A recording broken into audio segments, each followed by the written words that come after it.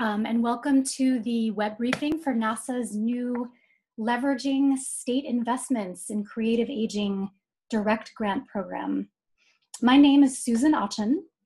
I'm NASAA's Arts Learning Projects Director. Before we begin, I just want to let you all know that we are recording today's web briefing, so just know that. And I'd also like to adapt a practice shared with me by NASAA's Learning Services Director, Eric Giles, and I'd like to acknowledge that I'm joining today's webinar from the traditional and current lands of the Lenni Lenape people in Brooklyn, New York. And if you would like to join me in conveying respect and appreciation for the original people, places, and cultures of our country by posting in the chat the name of the First Nations people whose land you are joining from, please do feel welcome to do so. Let's also acknowledge and pay respect to the people who were taken from their ancestral lands in Africa and enslaved in order to build the economic infrastructure from which our country now benefits. And lastly, let us remember the ways that our own specific ancestors arrived in this country and how their stories, hopes, and dreams are still very much ours to carry forward. So, my hope for today's web briefing is that all of you who have joined today will come away from our time together feeling clear about all the basic and preliminary program details so that you can proceed with confident and concrete next steps in designing your grant proposals. I'm going to go ahead and step us through important features of our grant guidelines. Um, I'll share an agenda in just a moment. And then I'm going to leave plenty of time for a more free-form Q&A session after I run through the, the basics. Along the way, why don't we go ahead and use the chat function if you have questions to please post your questions in the chat as we go through um, so that when we start the Q&A session, we can circle back to what you've already posted in the chat and make sure that we collect and gather and answer all of the questions that have come up along the way. After that, we'll see where the conversation leads. Um, so thank you, Eric um, Giles, for being here and for admitting folks who are in the waiting room. I appreciate that. I'm going to go ahead and share my screen and um, share the agenda.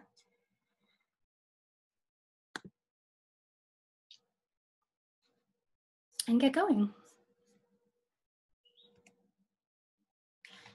So we're going to just run through a quick uh, overview of the background and purpose of, of our grant, um, the approach that we're taking to creative aging in our grant, the timeline, award amounts and allowable expenses, application components, criteria for adjudication, payment dispersal and reporting requirements, additional support, and then we'll get to questions. And to let you all know, all of this information and more does appear in the um, grant guidelines. So you'll have that, if you have that with you, be able to follow along um, as we go as well. All right.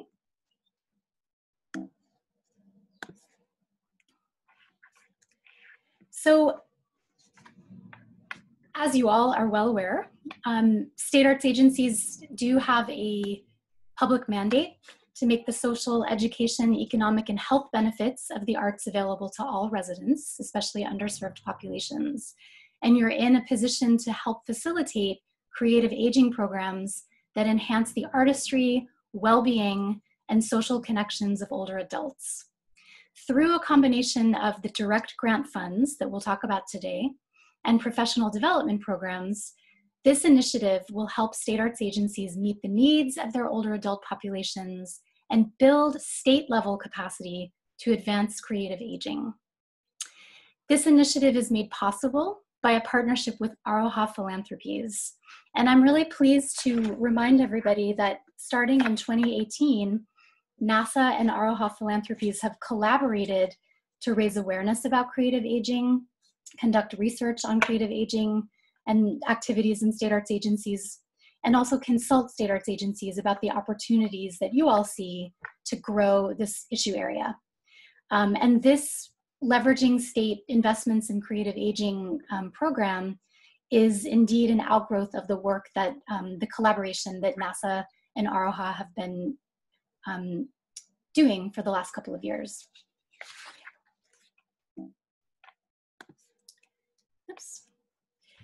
So in terms of the approach um, that we are taking to creative aging, in partnership with Aroha Philanthropies, there are some best practices that NASAA wants to place an emphasis on and lift up for your consideration.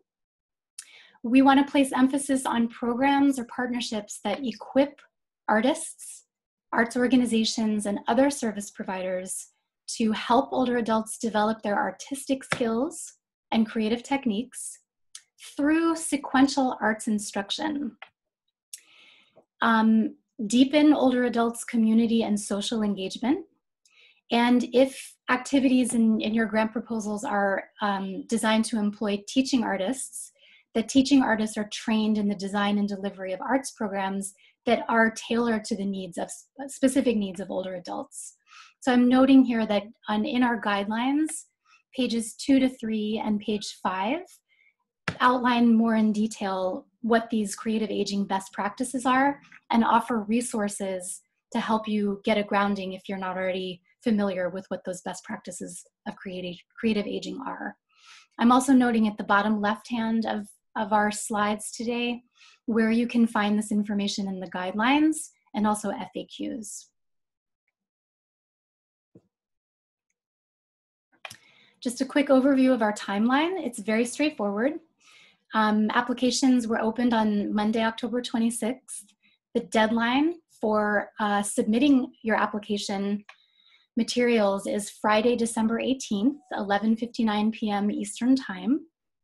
We'll be notifying of awards by Monday, February 22nd, 2021. The implementation period for activities begins Monday, March 1st, 2021, and the implementation period ends Wednesday, August 31st, 2022.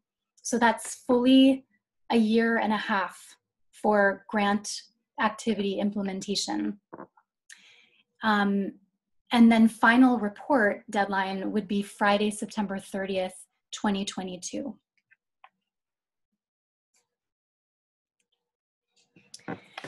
Award amounts and allowable activities. Um, so we are really honored and excited to be able to provide up to 25 grants at the $20,000 tier and up to 16 grants at the $60,000 tier. And as you'll note in the grant guidelines, the difference between those two, the $60,000 tier are um, the opportunity is geared for state arts agencies who already are um, actively putting forth creative aging efforts in your state or have um, a population or geographic um, consideration that would make sort of a bigger grant more um,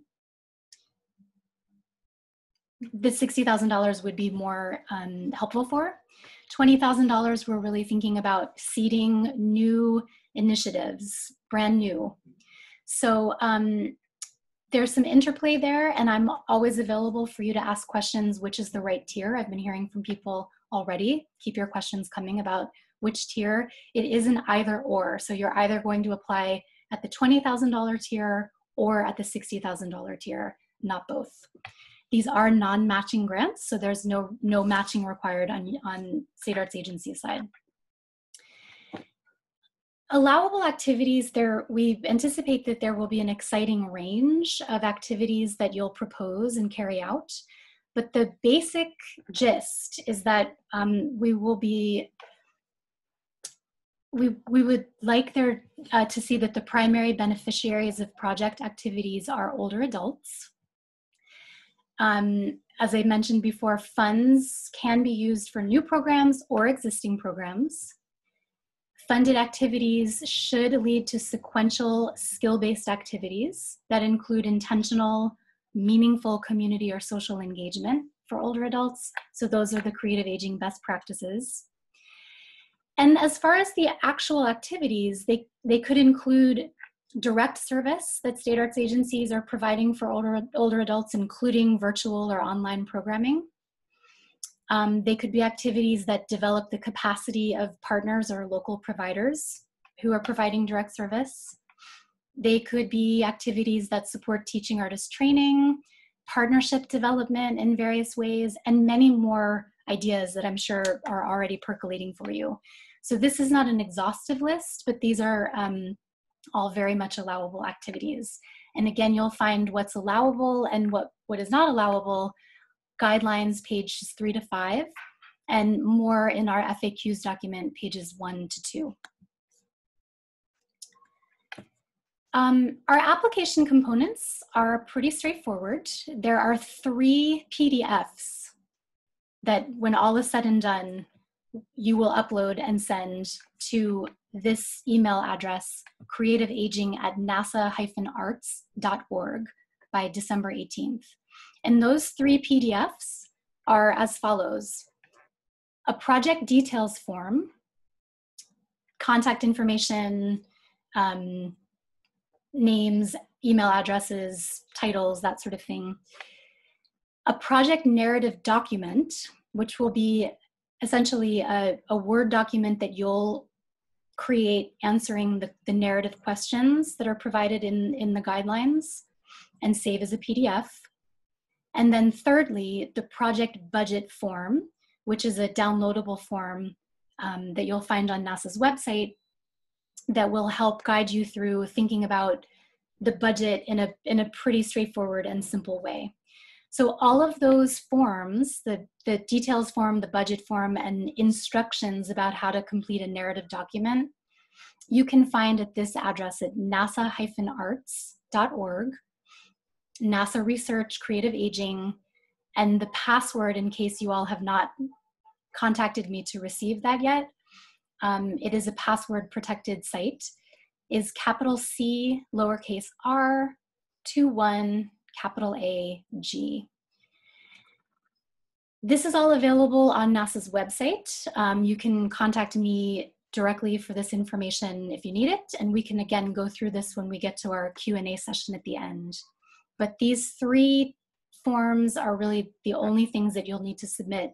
There's no need to submit additional supportive materials. Um, it's just these three documents that you'll want to upload and send via email to creativeaging at nasaa-arts.org.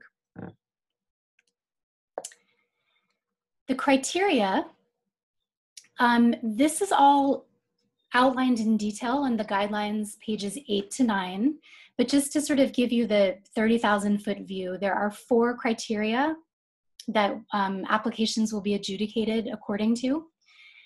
Creative aging opportunity, um, which is 35 points. The quality of your program design, 35 points.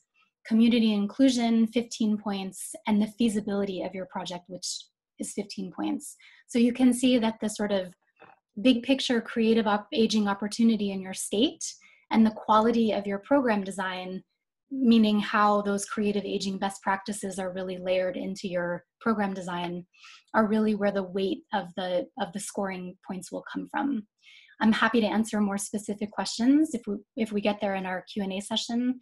But this is really just big picture. And again, you'll find more detail in the guidelines, pages eight to nine. And our FAQs also have a little bit more granular detail about um, the criteria as well. Payment dispersal and re reporting requirements. So um, first and foremost, we do expect that state arts agencies will be the lead applicant.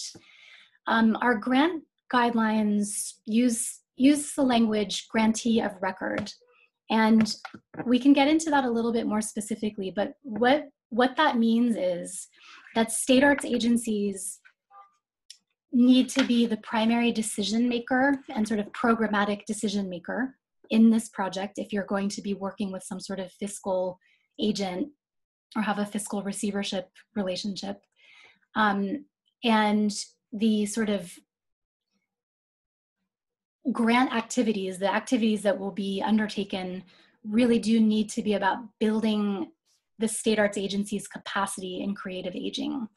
If there's a situation where you know that you'll, your agency will need to or choose to work with some sort of fiscal agent as a partner in this, we can absolutely speak one on one to figure out the details of that. That might be for reasons of efficiency or um, there are statutory reasons. NASAA's well aware that that might be the case, and we can work with you to figure out what it will mean for you to, sub- to submit an application in for this program um, as the lead applicant, but with a, a partner in the more formal role of actually receiving the funds. I'm going to leave that there because I feel like there might be more questions that we can dive into more deeply a little later on, and I want to leave time for that. But um, what will apply to everyone who receives the uh, an award is that 80% of the grant will be dispersed upon receiving um, a signed letter of agreement, your invoice, and a W-9. So right up front, 80% of the grant award will go to awardees. 20%, the final amount of the award, will be dispersed upon receiving the final project report, which we would like to have um, received 30 days after completion of activities, but no later than September 30th, 2022.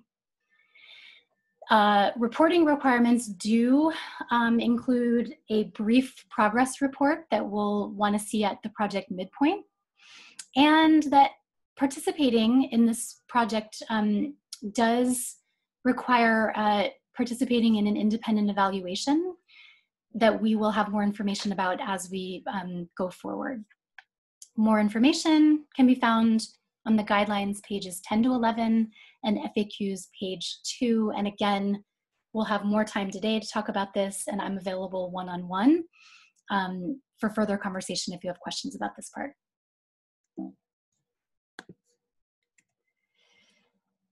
That brings us to questions. And before I um, stop sharing my screen, let me go ahead and just remind you that the grant guidelines can be found um, on the NASAA website at this address, and the guidelines uh, also, I'm sorry, the guideline FAQs are also available. My direct email is susan.ochen at nasaa-arts.org. And again, I am here and at your service um, for any one-on-one guidance or and or for you to participate in our upcoming office hours, um, which will happen on Mondays um, over the next month. So let me, um, I'll sh stop sharing my screen here. And I see that we do have a lot of chat happening.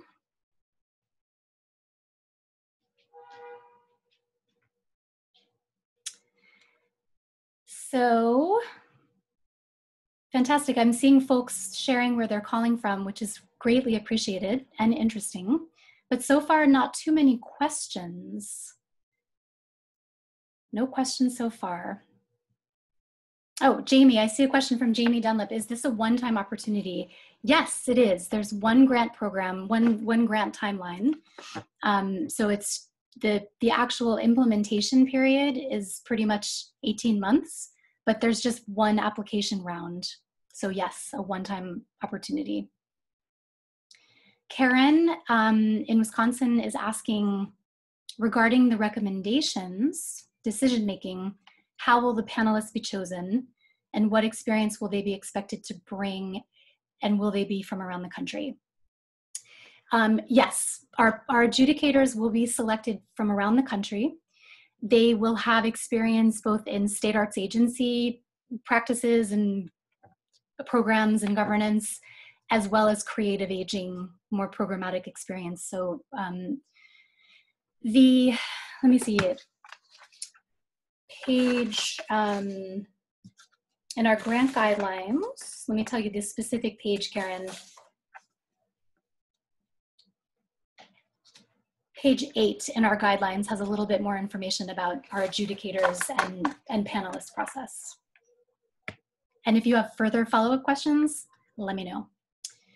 Um, Gary, I think I maybe have seen you, Gary um, Gibbs, raise your hand. If you had a question and want to unmute, feel free. Actually, my colleague Laura just put it in the chat. She did. Okay, thanks. I'll scroll down.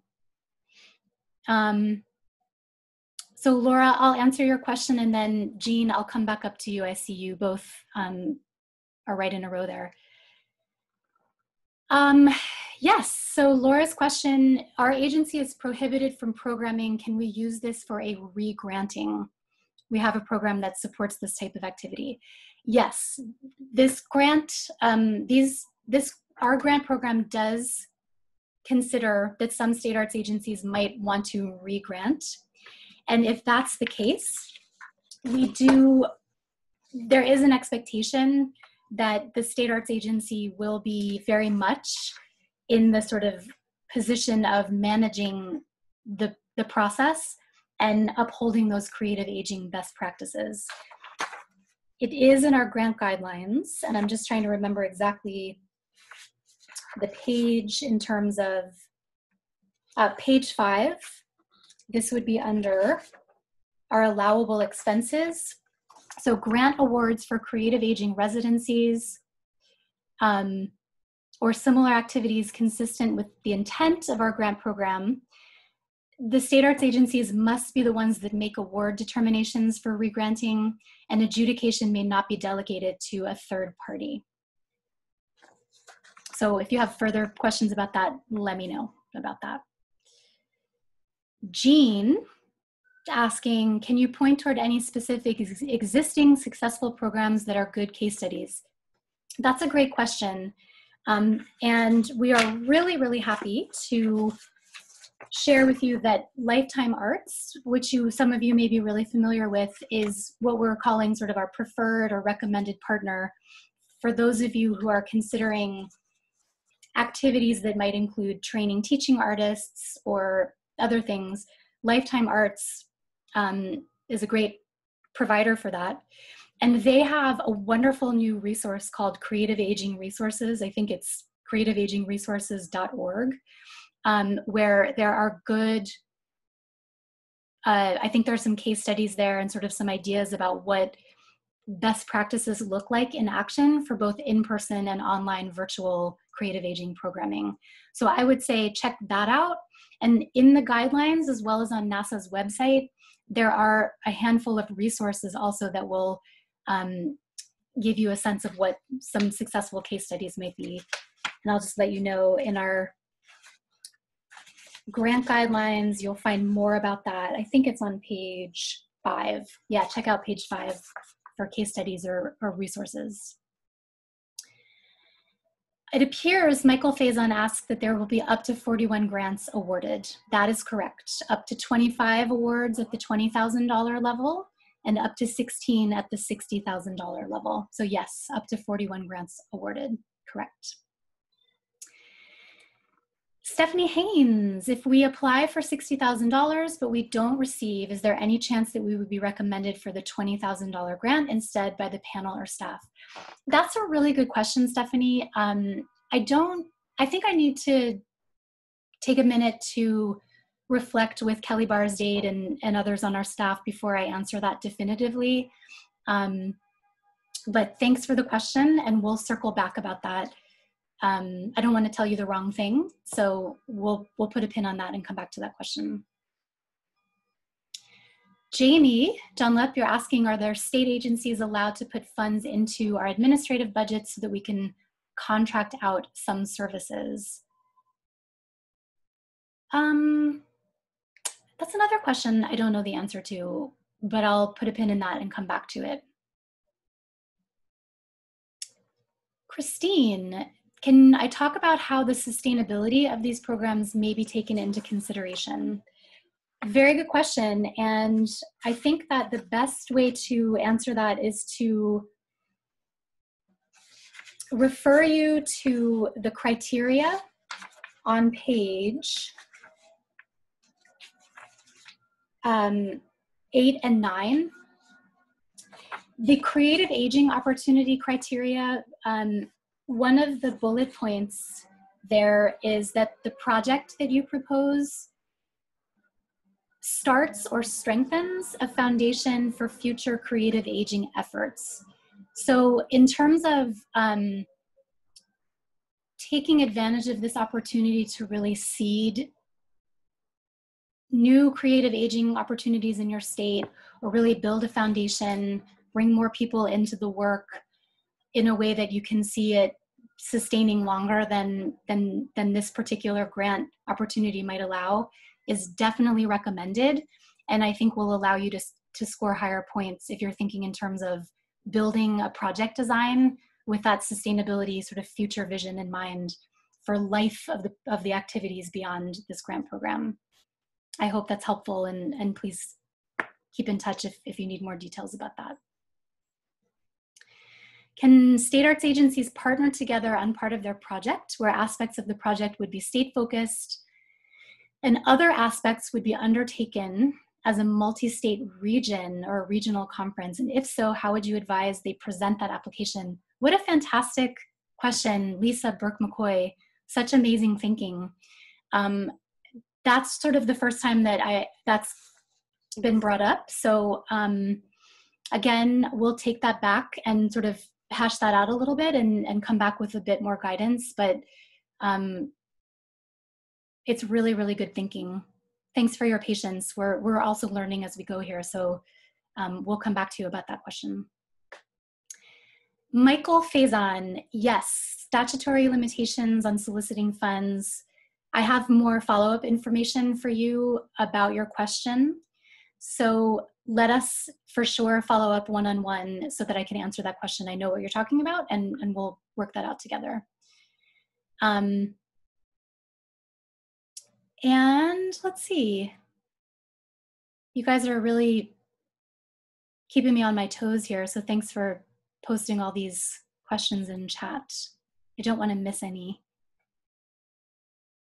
I think the next one is from Laura Wiegand in Texas about a bullet in the guidelines about prohibited activities that seems to say that this funding cannot support health related activities. Yes, super important. So um, let's go ahead and find that on page five. The bullet number two under unallowable activities and expenses is um, unallowable would be services designed primarily as health interventions using art for therapeutic purposes to treat cognitive or physical diagnoses. Um, the way that I would encourage you to interpret this is is to lean heavily on those creative aging best practices of sequential skill-based arts instruction that allows older adults who are who are the primary project beneficiaries to improve their artistic skills. That's the primary focus of the program. That and also that allows older adults participants to cultivate meaningful social engagement so those those things like it's really about art instruction it's about building creative and artistic skills in a sequential learning um, kind of system and to provide meaningful social engagement opportunities. It's not that, like, you know, a dance class, Laura uses the example, a program that involves Parkinson's patients with dance classes. It's not that that wouldn't be allowable. It's that the, the sort of focus of that program should be about those participants really building their dance skills and having social engagement time as opposed to treating Parkinson's treating the the um, symptoms and issues around Parkinson's. I hope that helps. Um, but it really, I just want to encourage you again to, to lean on those creative aging best practices that are in the guidelines and also part of the resources that we've shared. Lifetime Arts does an amazing job outlining what their programmatic activities are that really uplift those best practices. And that's a good, good guidance when you're thinking about that piece. Um, Karen asks again about Anne Basting, who is named a MacArthur Fellow for her work, as she's doing some amazing work through her nonprofit TimeSlips in Milwaukee. Am I safe to assume that you'd be fine with us working with her rather than or in addition to Lifetime Arts? Yeah, so let me just say that it is not by any means mandatory that any state arts agency work with Lifetime Arts um, we really lift them up and recommend them because they are experts in this field and because they're doing work um, along the lines of those best practices that we agree are best practices and that Aroha agrees are best practices. But that doesn't mean that it can only be Lifetime Arts that you might partner with. I would just say that if there are local or other national partners who have expertise in creative aging that you wish to, to partner with, um, make sure that your program design is really emphasizing those creative aging best practices. I know of Anne Basting's work, um, and it's fantastic. Um, but I would say make sure that your program design is emphasizing those best practices. Gary is asking how long is sequential instruction supposed to last? That's a little bit up for grabs. I think that, um, you know, I think it's, there are recommendations that are made about the minimum number, but in, in the world that we're all living with, with virtual online delivery, that can be different. So there, it, I would say that um, there's no specific amount of times that se- sequential instruction is supposed to last, but that that is part of the design. Um, it will look different if it's an in-person model versus an online model. And one of the really nice things about the timing of this grant program in the world that we're living in is that Lifetime Arts and others have been able to develop some really successful online program models that you can um, have a look at and just determine what might work in your circumstances. Particularly, I want to point you towards on NASAA's website, uh, our YouTube channel, we have a creative aging webinar that Lifetime Arts delivered during our, our Mid-Atlantic Teaching Artist residency. And they go into some detail there about how, they're, how they modified their virtual online instruction for older adults. And, and you'll find some useful information there about the sequential instruction part. If you have questions about where to find that, I can, I can follow up for sure. Cassie is asking, can I clarify eligibility at the $60,000 level? We have an arts and health program that has a creative aging component and that you've had lifetime arts training in your state. Great. Um, so yes, so $60,000, that tier, I'm, I'm gonna again refer to the grant guidelines on page three. Um, funding in the $60,000 tier will be available to state arts agencies with larger senior populations, more challenging geography, or plans to further develop established creative aging initiatives. So those are sort of the three considerations if you are thinking about coming in at the $60,000 tier. And um, just to state it, because it is important, I think, all state arts agencies are eligible to apply at this at the $20,000 tier. But if you have questions about whether you might apply at the $60,000 tier, the best thing is just to reach out to me one to one and we can talk through what you have in mind and, and I can give you some guidance about that. Um, Jamie is wondering about for the budget, is in-kind acceptable? I know it's no match, but just wondering if that's eligible. Um, we definitely, on our project budget form, uh, we do have a line item for you to share in-kind um, income. But it it's really there for you to show sort of the full breadth of what your program entails. Really, you're going to want to build a budget that's $20,000 or $60,000 and that your expenses should really sort of match the $20,000 or the $60,000 should balance to that. If you're showing us that you have additional in-kind income or additional money at the federal or state level that's coming in, um, that's great. And we're happy to see that. It's really more that we would like to see that information just to build our knowledge but it won't be like it won't count for or against an application if there's in kind if there's line item you know filled in in your budget for in kind um, contribution or additional cash income um, either i hope that helps yes okay great um, eric thank you so much for for popping into the chat the youtube that I mentioned the new opportunities for creative aging web seminar that happened. Um, okay, I feel like I've been just talking at you guys and you've been very patient, but let me see if anybody wants to unmute themselves and chime in.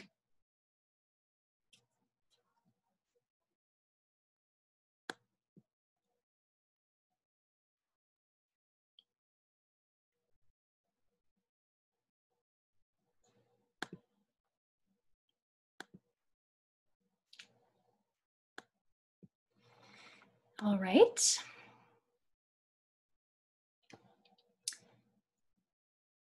Well, um, as I said, this this web briefing, this brief web web briefing, um, is can, is recorded. So I'll be able to put that up on NASAA's YouTube channel and share that out with everybody by the end of this week. Um, Jean, thanks for your question. To follow up on office hours, I'm I'm in Eastern time, the dates of those office hours will be Mondays, November 16, 23, 30, December 7th, and it'll be the same time, 4 o'clock to 5 o'clock p.m. Eastern. The idea, the gist there is just drop in. There's no need to make an appointment or anything. Just just drop in. We can have some um, one-on-one or small group conversation depending on who shows up. And um, if that's not doable, email me and we can set up some time, just a phone call at any time to talk through anything from how do I submit the application materials to bouncing ideas about project ideas. So, really consider me your resource for anything and everything to do technically or conceptually with, with this grant program. Suzanne, thank you for the compliment of my peepers.com readers. Appreciate it. Um, what else? Anybody? Seeing some thumbs up? Susan, a question occurs to me. Um, I saw that uh, you or someone at NASAA would be willing to read drafts. Is there a date by which you'd like to have a draft if you're going to give it a read? Yes, that's a really thoughtful question, Christine. Why don't we say December 1st? And I'll write that down so I remember it too. Susan, it's Danny from Louisiana.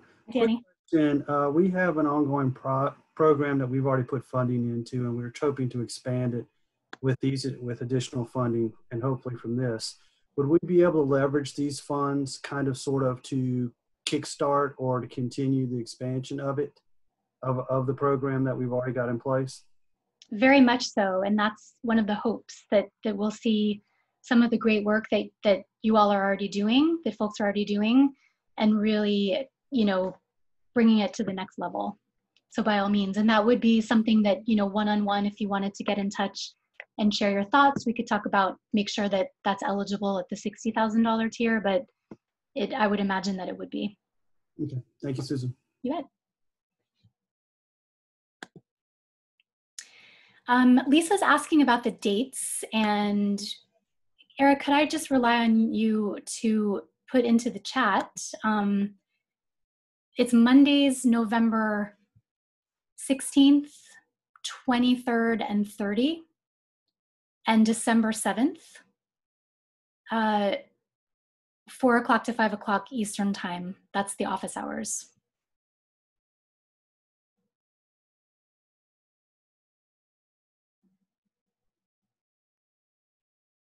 Thank you.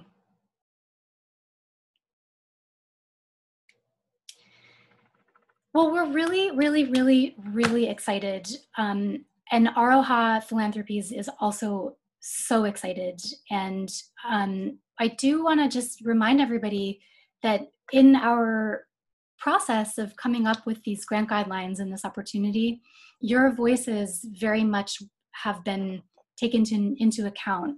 We, NASAA, um, over the last year and a half, almost two years, has done a survey, a field survey, and also a focus group. And we really couldn't have designed this grant opportunity without your very, very important input. So we've taken that to heart, and we hope that what is um, available here will truly be something to help the 41 state arts agencies that receive this award um, move the creative aging issue area forward in meaningful ways. Um, Michelle is asking about the independent evaluation.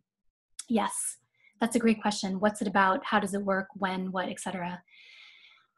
Um, you know, we want to make sure that one of the ways that we're making sure that this this program it, it has an eye towards sustainability and ongoing benefit is that we capture all the great learning that will happen out in the field once the activities are underway. So we want to encourage our the folks who receive the awards, the our agencies that receive these awards, to be active participants in you know qualitative data that we'll collect certainly quantitative like how many program participants and these sort of things. But really we are well aware that um, especially at these amounts for $20000 and $60000 like we don't want to burden state arts agencies with like a whole lot of um, surveying and analysis and evaluation. So we want to capture the right amount of information about how your programs are going, how you've thought about designing them. Um, we don't at this moment have all of our inquiry questions lined up, but we're, we're moving into that process really soon. So we'll want to invite you all to participate, like I said, in sort of a midpoint progress report as well as a final report. We also want to, we are also anticipating that there will be a handful of like grantee cohort webinars along the way. So that that not only can we collect data and understand how things are going out in the field, but that you all will have a sort of cohort of folks involved in creative aging activities at the same time that can share knowledge um, across what you're doing. So, Michelle, I don't have super specifics to answer your question, but I, I want to say that it will be the right amount of evaluation and not an, an overboard amount um, and more information to follow. Um, and that reminds me too that another component of, of the leveraging state arts agency investments in creative aging partnership that NASAA has with Aroha Philanthropies, in addition to these direct grants, is our Creative Aging Institute, which we um, anticipate will happen in July 2021 and July 2022. So we'll do two years of that. And that is going to be open to all state arts agencies, regardless of whether or not you've received a grant. Um, because we do want to extend the learning that happens from our grantees out across all of the state arts agencies.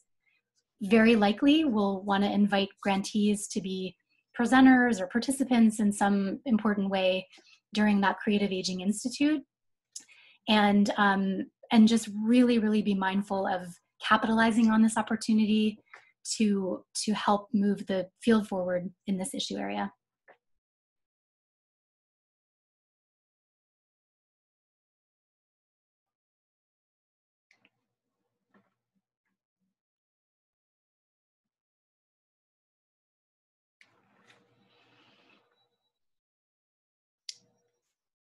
Very good. Okay, well, I see um, the chat has sort of slowed down a bit. And Laura, great question. What if COVID is still a barrier to participation? Very thoughtful question, particularly for this population. Um, we are in, anticipating and excited to think about the ways that online and virtual project proposals um, will help answer that question so I would say have a look at some of those resources I mentioned from Lifetime Arts about how they're doing online programming even now. And if that inspires you, great. Um, but I would say, even if it's not about COVID, even even if um, even if the issue is how can you reach geographically uh, sort of more remote populations of older adults in your state, you know, online programming and best practices specifically regarding this population, it's a great question to ask and will be really relevant to everybody's proposal, I would imagine.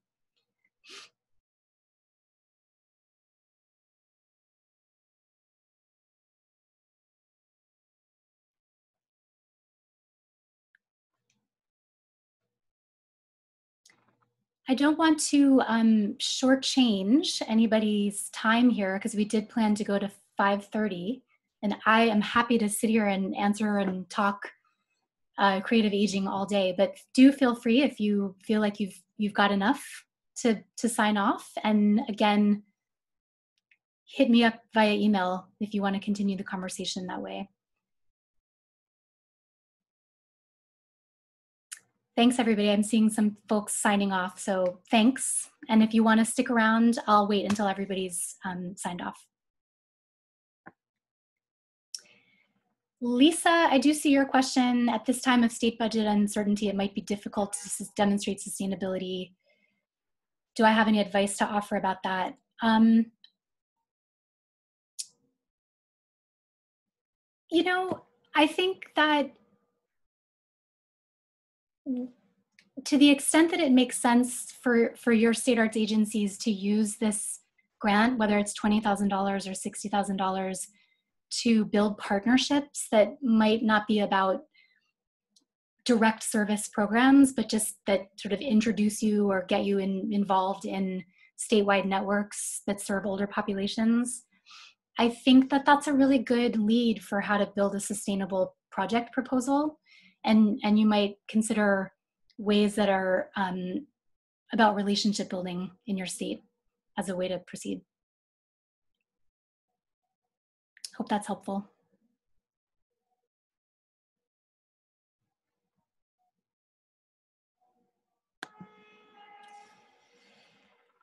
All right, everybody. I'm going to go ahead and sign off then. I'm seeing no more questions and folks signing off. So much appreciated nice to see everybody's face. And we'll post this up to uh, the YouTube channel by the end of the week.